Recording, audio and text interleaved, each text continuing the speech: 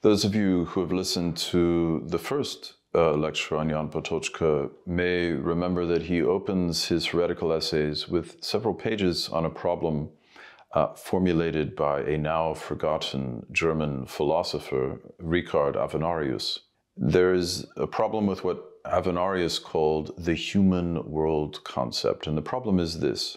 The remoteness of the world of our life from the world described by mathematical physics compels us to ask whether these worlds can be reconciled. Unlike Avenarius, Patočka is doubtful. Uh, the problem of the world, he concludes, appears to us to be unsolvable. As I tried to show in the first lecture, it is the unresolved question of the world that orients Patočka's uh, reflection on the origins of history.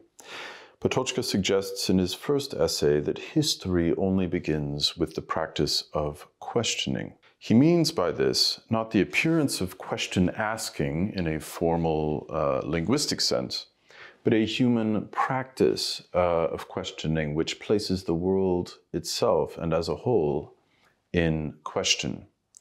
A, uh, a human practice which takes um, its task from the question of the world. In its most basic form, the question being what is the world?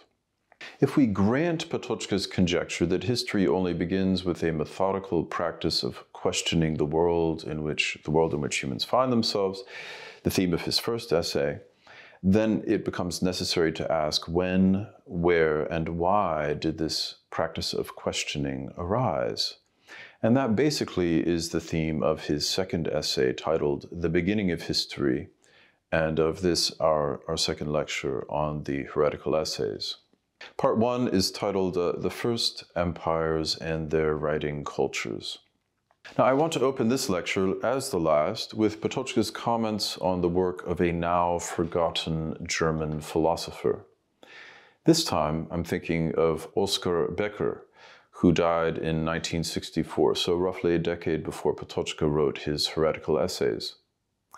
Like Patočka in the 1930s, Oskar Becker had come under the influence of Edmund Husserl, who is a Czech philosopher of Jewish descent.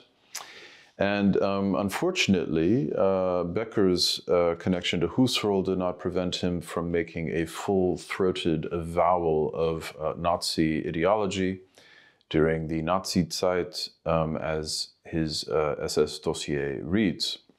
Why does Becker's lapse into National Socialist ideology not prevent Patočka from reading him or us from discussing him tonight?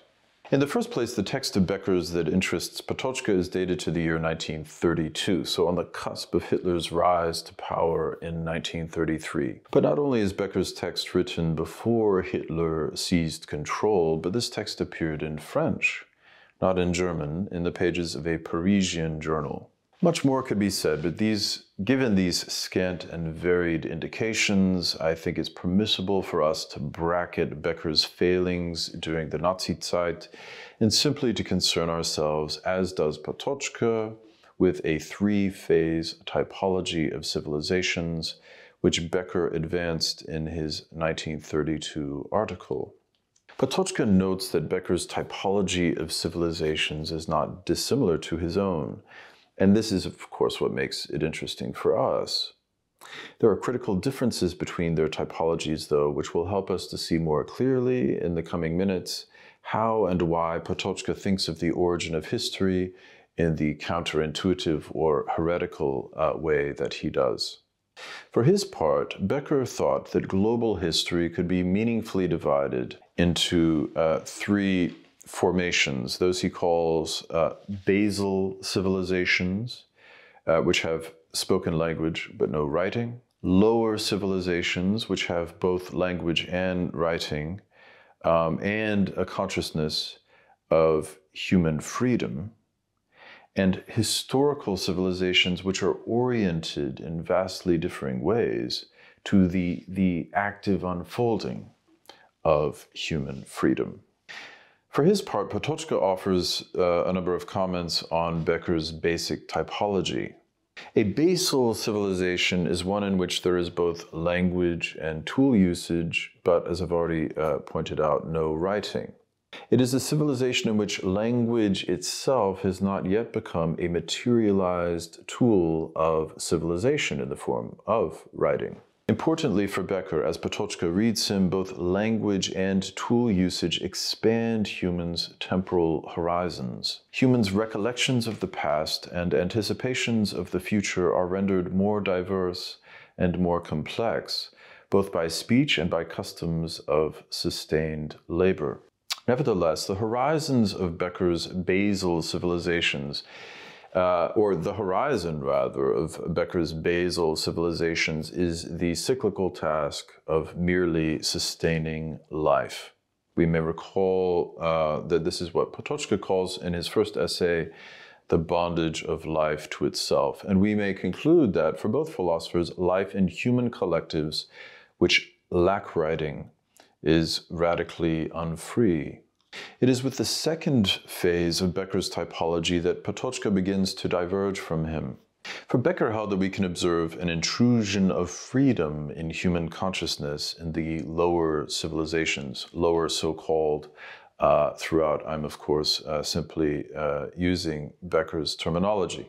Patočka is unconvinced in part, I think, because his idea of freedom is not the same as Becker's. A human consciousness of its own freedom for evil is what intrigues Becker. Becker stresses the awareness of guilt that shows up in Genesis and in Babylonian poetry. According to him, texts of ancient Egypt and Israel, Babylonia and Persia, India and China bear witness to an intrusion of a freedom to evil and thus a new passion, a new dimension of passion and guilt in human history. A world historical break with primordial humanity, uh, humanity before writing, thus occurs in the second phase of Becker's typology, that is, in the, wall, in the walled cities and sacred empires of deep antiquity. For Becker, this intrusion of freedom predates Greek literary culture by many centuries, as we will see in a moment. Patočka disagrees. But Becker's and Patočka's typologies of history seem to reconverge in Becker's third phase, namely the historical age proper, in which, as Patočka puts it, the principal theme is the unfolding of the possibility basic to human beings.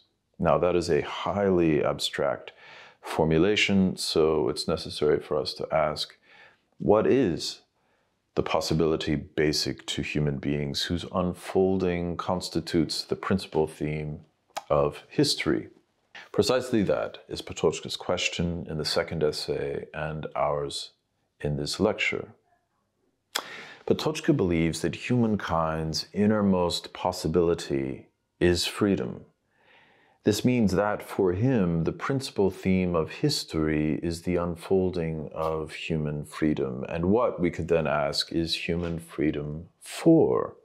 I've just alluded to the fact that for many ancient myth cycles, including the narrative of the fall in Genesis, human freedom can be grasped as being most essentially a freedom for evil.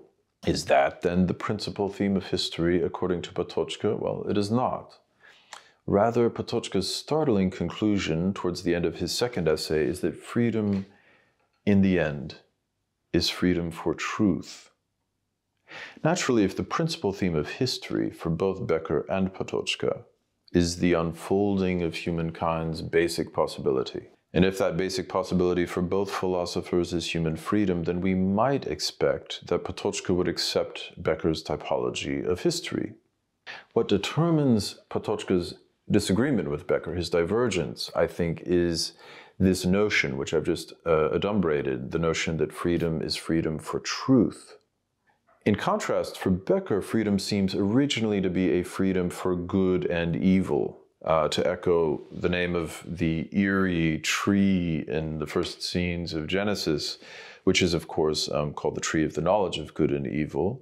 It is a moral freedom which brings with it, in Becker's article, three new phenomena. The first is an intrusion of sensual passion in human life. The second is a lust for domination between humans and human collectives. In the Latin of St. Augustine, this is libido dominandi.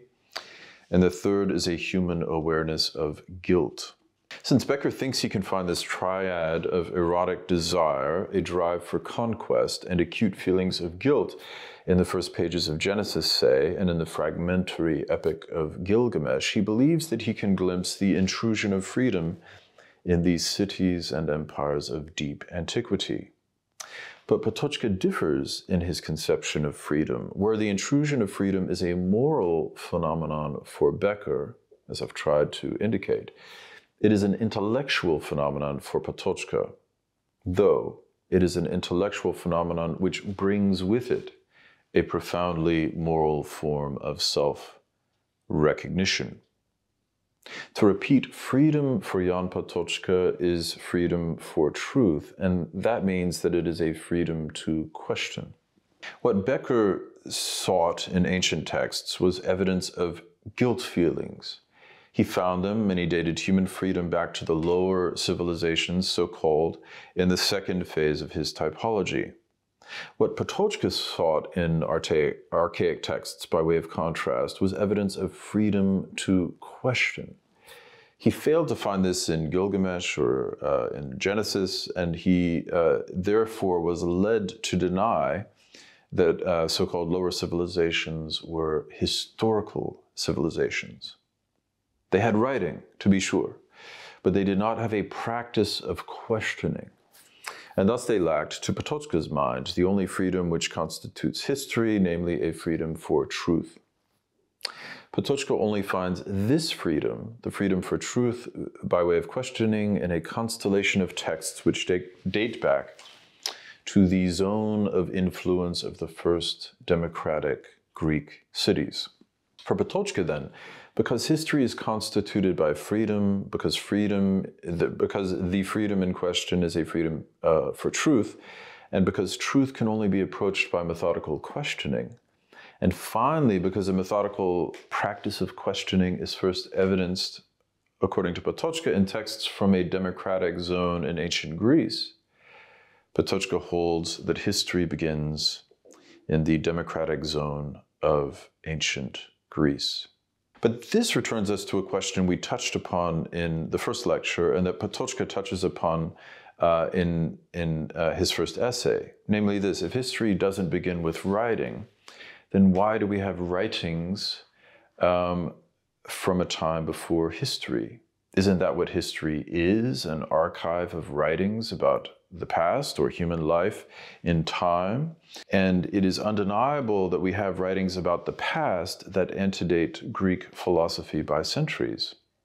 A hundred other texts could be mentioned, but we will limit ourselves to Homer and Hesiod, Gilgamesh, and Genesis, all of which are writings about the past.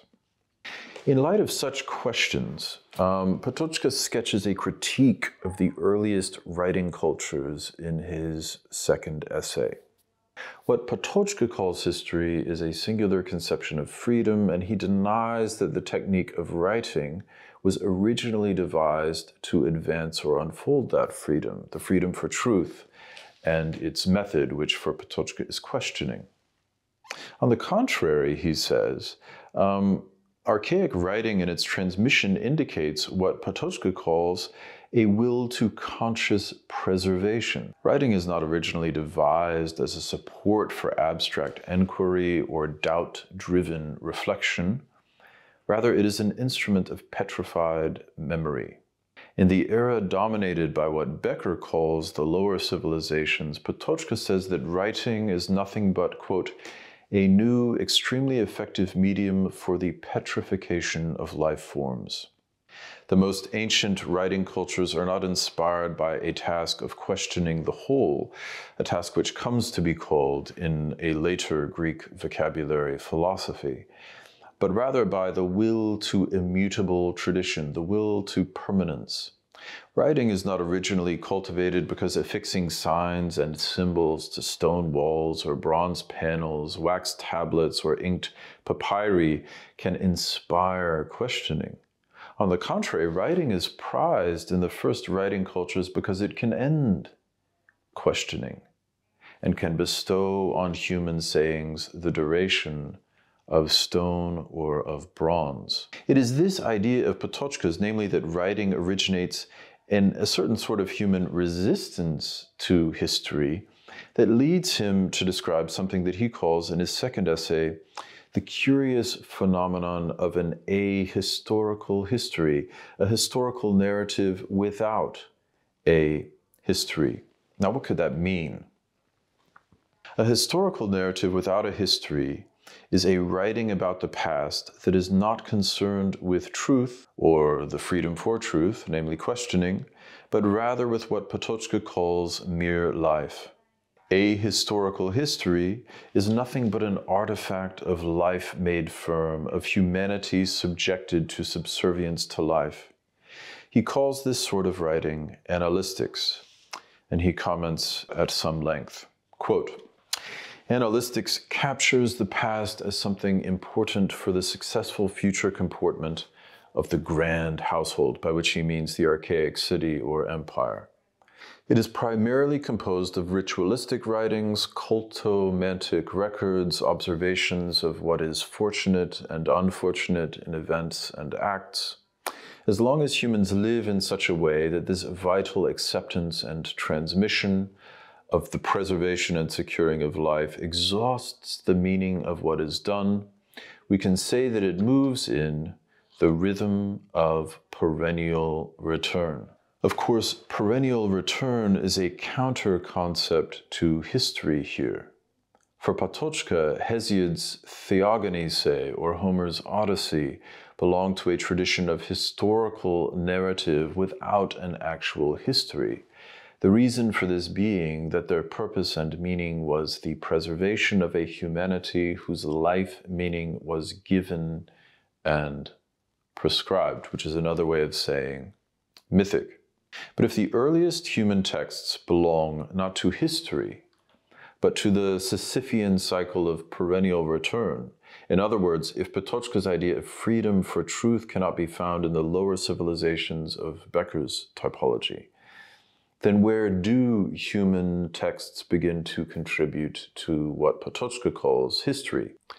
Well, in the democratic zone of ancient Greece, in the 5th century before the Christian era, as I have already uh, indicated more than once. So the time has come to answer the question why? Why do texts emanating from 5th century BCE Greece both reflect and inculcate a practice of questioning without which there could be no freedom for truth, and thus for Patočka, no history. Part 2 Philosophy and the First Democratic Cities. We've just read that annalistics captures the past as something important for the successful future comportment of the grand household. It is critical to note that Patočka calls the first human cities and empires in his second uh, essay households. He means for his readers to remember something that I only very briefly mentioned in the first lecture, and that is that he defines a grand household in the first essay as uh, an unequal society of gods and humans. In the archaic world picture, the city, the empire, and the world comprise one house within which it is gods who consign humans to the fate of death archaic cities and empires understood themselves to be and to reveal something that is not the work of humans. The obligation of anyone born into a grand household, whether we think of that as an archaic family, city, or empire, is calmly to accept the unfree life that is given to them as their lot. The grand household therefore serves Patočka as the world picture and as the myth of politics of a humanity for whom the world belongs to the gods. What he means to suggest is that the first human cities and empires were not cities or empires, not in our sense of those words. They were, in their own eyes, merely grand households. They were believed to uh, mirror and magnify the unequal society of human families within the household of the gods, that is, the world. It is this claim about archaic cities not being cities that leads Patočka to make a formally similar claim about archaic histories not being histories. The first human cities and empires, which were not cities or empires, in Patočka's mind, generated the first forms of historical writing, which were not forms of historical writing in Patočka's mind. Rather, according to Patočka, our earliest writings about the past are only, uh, only attest to a sort of a historical history.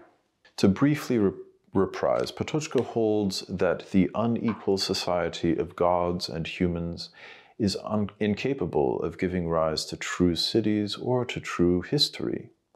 And he holds that archaic cities, which are pictured by their inhabitants as both human and divine households, such cities are fated to remain within the unfreedom of natural cyclicity.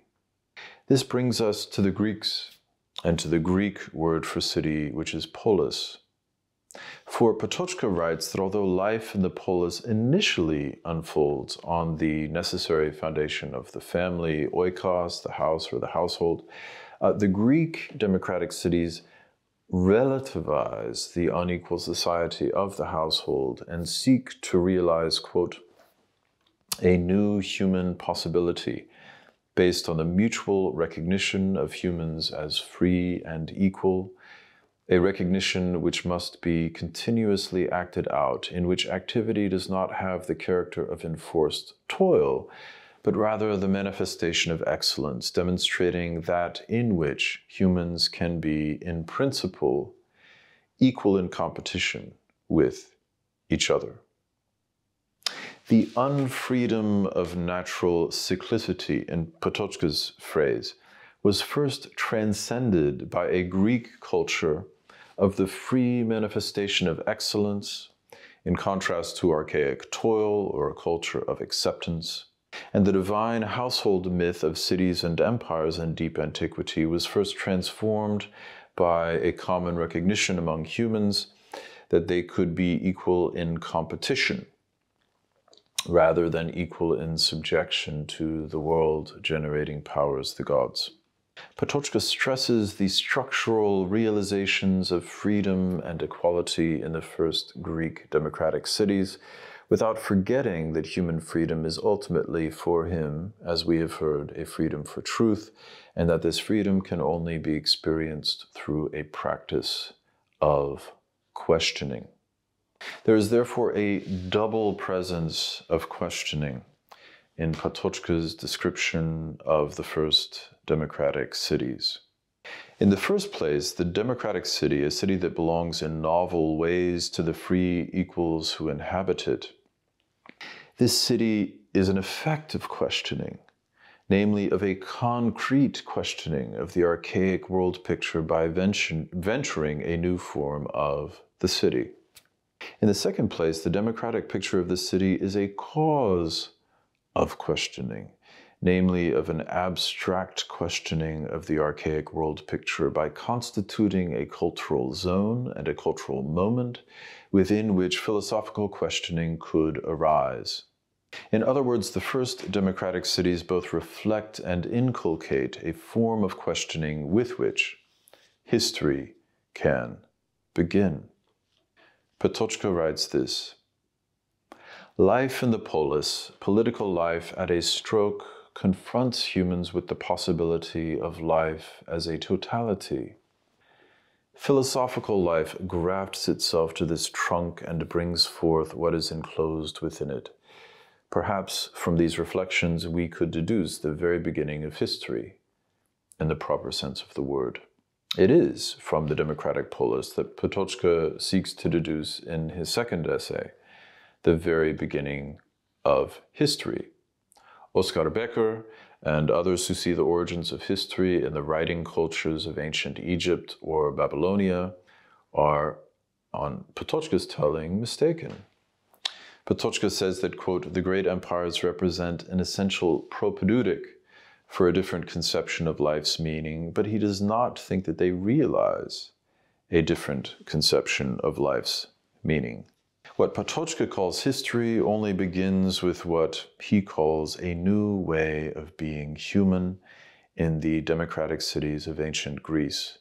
And it is philosophy that unfolds the potential for questioning, for freedom, for truth that is enclosed within the first ventures in Greek democracy. What is this secret kinship, though, we must ask, that Patočka sees or wishes to see between Greek democracy and philosophy. He, of course, knows that the Platonic tradition, which he places at the very heart of the Western world and its spirit, in his phrase, is critical of the first democratic regimes. It was a democratic city that put Socrates to death. What then is the truth Patočka thinks is enclosed within the first Greek democracies. What is the democratic truth that Socrates and his protege Plato, and in later centuries countless other philosophers of the Platonic Christian tradition, are thought to have unfolded? There are two words that Patočka introduces in his second essay, which sharpen our understanding of the freedom and questioning which tie philosophy to Greek democracy and which tie both uh, philosophy and democracy to the origins of history as such. One word is unsheltered, and the other is wonder. Inasmuch as philosophy and democracy are free, they are unsheltered. And it is an opening of the mind that engenders a new feeling of wonder and with it philosophy. Plato compares this opening in one of his most dramatic texts to the perilous ascent out of a cave, and this is Patočka in the passage I have in mind. Quote, a free life as such, one's own or that of others, is essentially an unsheltered life. Such life does not seek to escape its contingency, but neither does it yield to it passively. Since it has glimpsed the possibility of authentic life, the world opens itself to it for the first time. Nothing of, this, of the earlier archaic life of acceptance remains in peace. All the traditions and myths are equally shaken. It is like a landscape illuminated by lightning amid which humans stand alone, with no support, relying solely on that which presents itself, and that which presents itself is everything without exception.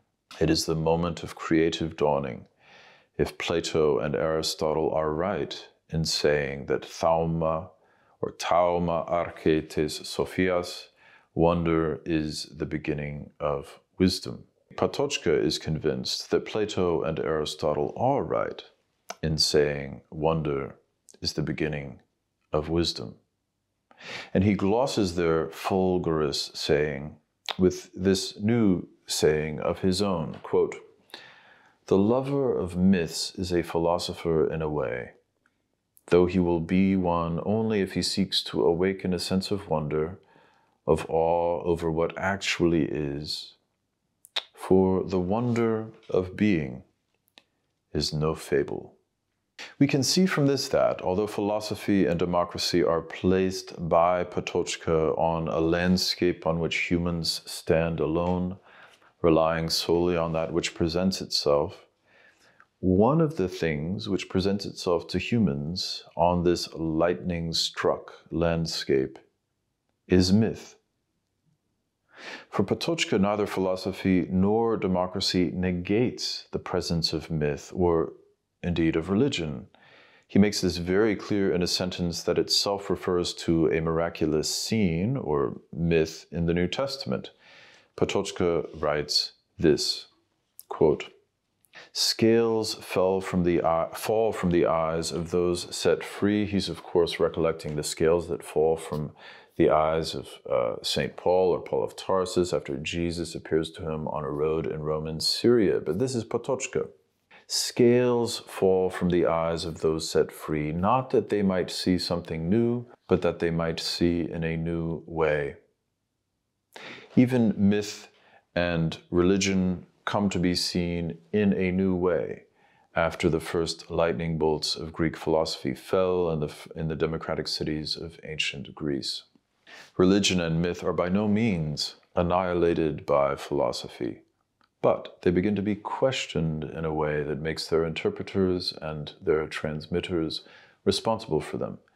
And this, for Patočka, is the secret of freedom, namely that with it comes responsibility. If freedom for Patočka is a freedom for truth, and we know that it is, then we can conclude that with freedom for truth must come a responsibility for truth. And this may be the truth enclosed within the first democratic cities, the truth which the Platonic Christian tradition unfolds. Namely, the recognition that the possibility of authentic life is not just a matter of acceptance of the world or the will of divine beings but of standing alone in the world, which is a, a whole, the world, uh, a whole that we have subjected to questioning.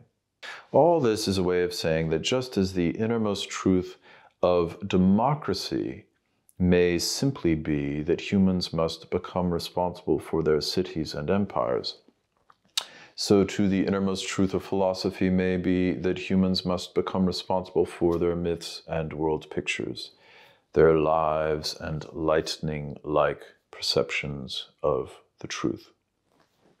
Conclusion The experience of history. To return to Oscar uh, Becker's typology of civilizations and to conclude. For Becker, history begins when humans become responsible for good and evil. It is an archaic consciousness of evil, a primitive guilt feeling which he sees in the literary fragments of deep antiquity, and which permits him to see an intrusion of freedom in these so called lower civilizations of Babylonia, Egypt, etc. For Patočka, the intrusion of freedom comes later and in Greece, because history, like philosophy, is not a question of a mere consciousness of good and evil. Rather, History is a question of human self consciousness regarding the knowledge of good and evil, which is to say, of an intellectual self perception of human responsibility for the world pictures which give meaning to good and evil. For Patočka, that self uh, that self perception of human responsibility is history. He calls it a shaking and he calls those who live through it the shaken. The freedom of the shaken is the experience of history. This experience of history is ultimately an experience of responsibility.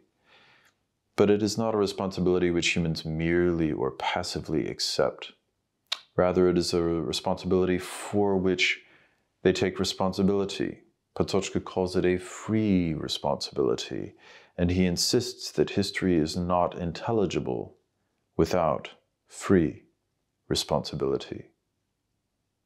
There is a sense in which, in Patočka's thought, the beginning of history, the question that he circles and that we've been circling in the first and second heretical essays, is not only a phenomenon which can be traced to the twin birth of Greek democracy and philosophy. He believes it can be traced to, to any moment of conversion in which any of us, in any century, face the eternal mystery of what is and wonder at the fact that precisely in this mystery, the world inspires questions that remain questions. History begins with questioning, and history begins again when any of us enters into a freedom for truth, which is to say, a free responsibility for the truth, when we choose to live unsheltered, when we tarry with the life giving negativity of wonder, a feeling that reveals the limits of our knowledge. When we do this, we, de- we decide to enter history, to, to see life as freedom, is to experience, in a real sense, for Patočka, the beginning of history. Human freedom shakes the pre given meanings of myth and religion, and it is only after philosophy and democracy shake the archaic world picture and form of life that humans dare undertake new attempts at bestowing meaning on themselves in light of the way the being of the world into which they have been set manifests itself to them. This formulation at the end of Patočka's second essay introduces the problem of his third essay, which is titled, Does History Have a Meaning? Within that question is hidden a deeper one. When humans bestow meaning on themselves, as Patočka urges them to do here, can it be a real meaning? We will follow Patočka into that question in the next lecture.